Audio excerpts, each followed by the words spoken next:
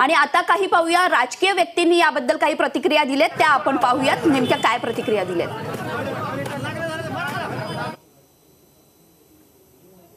आपण बघितलं तर गेले अनेक दिवस एक वादग्रस्त वक्तव्य करायचा प्रयत्न भिडे गुरुजींच्या वतीनं आज या ठिकाणी दिसतोय. आपण सर्व मंडळींना शंका आहे की त्यांना इतिहास फुडू कुडून काढायचा आहे का काय? अशा पद्धतीची परिस्थिती आज त्यांच्या वक्तव्यामधून या ठिकाणी दिसून येते.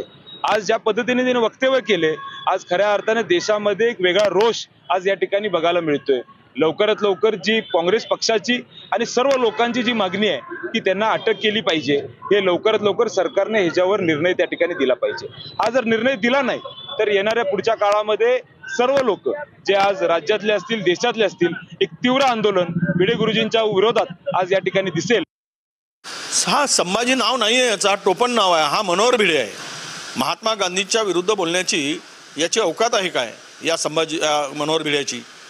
ज्या महात्मा गांधींचा इतिहास जर वा महात्मा गांधी काही एक हाडा माणसा आलेस्टाईन म्हणतात की हा महात्मा गांधी हे केवळ हाडा माणसाचा माणूस नव्हता तर तो विचाराचा प्रतीक होता. हा आंब्या खाल्याने मुलगा होणारा म्हणणारा या बिनकलेचा पेंड्या हा मनोहर भिड्या ह्यांनी जर महात्मा गांधीवर हे करत असेल अशा प्रकारचे लांछनास्पद आणि ज्याचा कुठलाही पुरावा नाही अशा प्रकारे जातीय तेळ निर्माण करणारे जर तो वक्तव्य करत असेल तर यांच्यावर यांना यांच्यावर सरकारने तात्काळ कारवाई करावी गुन्हे दाखल करावेत. नाही पिल्लू कुणाचं आहे काय याच्याबद्दल मी बोलणार नाही परंतु एक लक्षात घ्या.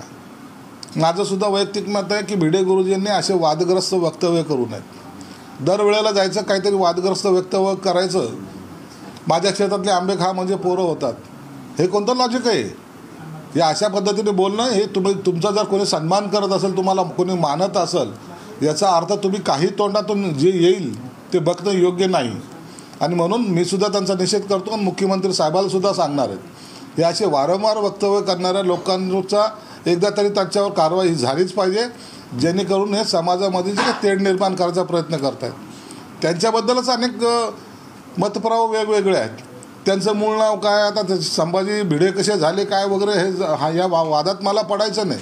परंतु त्यांचे स्टेटमेंट हे आपल्या सर्व समाजा समाजामधील लोकांना हानिकारक आहेत.